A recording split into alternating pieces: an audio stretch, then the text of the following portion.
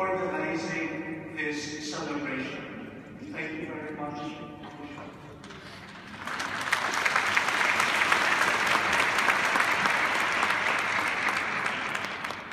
We also want to thank